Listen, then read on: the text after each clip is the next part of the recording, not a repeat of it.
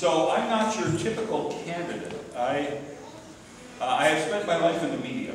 And uh, I started out as the morning guy on a radio station way back in Wisconsin decades ago.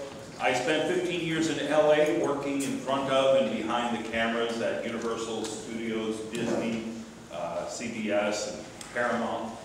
And then for 10 years I worked in TV news in San Diego, and I, I won an Emmy Award for my work. The other thing you need to know about me is I don't like bullies. And I moved here in 2000 to take on the biggest bully that I've ever met in my life. For decades now, the Church of Scientology has been sucking the life and the money out of downtown Oh, Clearwater. come And on. intimidating everyone out of the way. Be happy? Come on. Come on. Well, this is not religious. Wow, It's not about, wow, that's your black You're card. prejudice.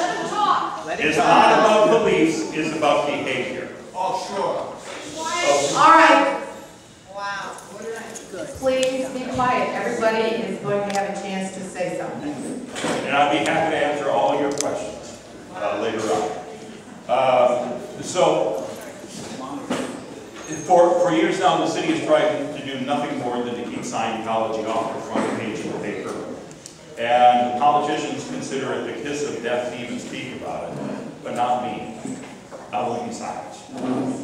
And We won't either. very good. We'll talk later. I'd be happy to talk. Um, So I'm running to give voice to those who feel that no one is listening and no one cares, who thinks that the deck is stacked against them. Uh, And I will, I will uh, fight for you if I'm elected to seat two. Thank you.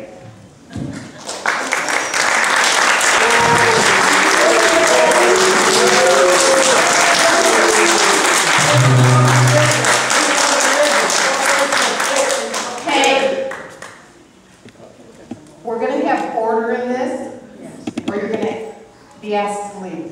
Thank you.